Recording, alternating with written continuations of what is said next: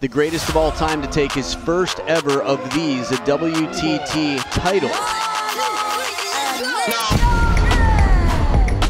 Look at the crowd here. If they had their opportunity to meet the legends. What a cool honor to be a part of. Will Groth go through to the round of 16 here, beating one of the best in China.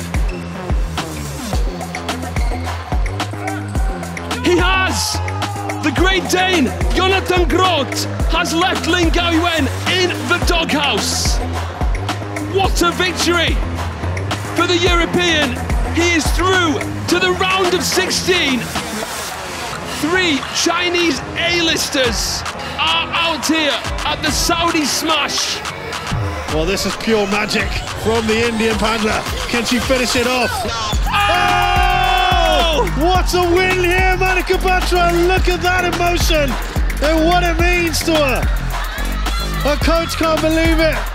The jingling Indian, the golden girl, has cracked this Chinese jewel.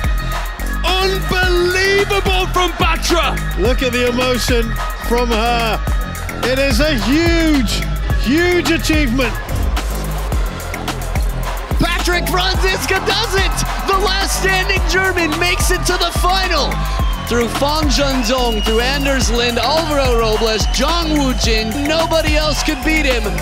This is a big deal. This is headline performance. What a dramatic battle. Wang Chuqin has won his second Grand Smash. A little sign there from him as well. The first ever Grand Smash to not feature two Chinese players. Wang Chuqin came in as the overwhelming favourite, but Franziska put up a battling display himself.